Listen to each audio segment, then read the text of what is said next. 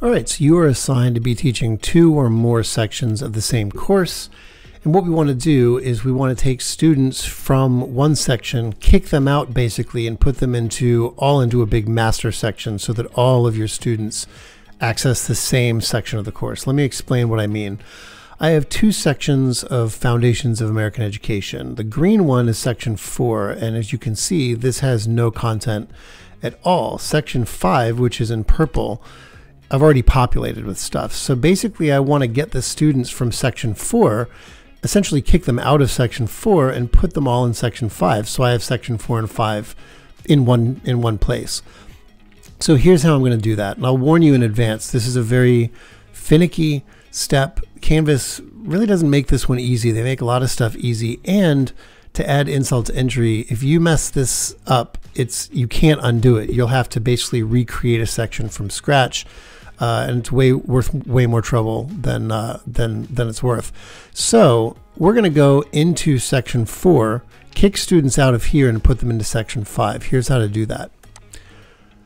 We're going to go into section four. Again, this is the section we want to kick students out of. This is where you want to go. And we want to go into settings.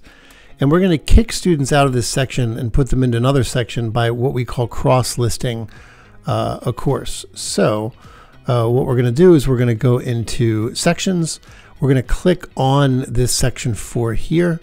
It's going to show the roster and all that, which I'm going to blur out for obvious reasons. We're going to go cross list this section. And we are going to find the section we want to put students into. So I'm going to type in the course number.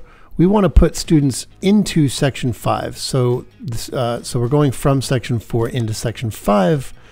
Okay, so we are going to cross list this section. Once we press it, it will take a little bit of time.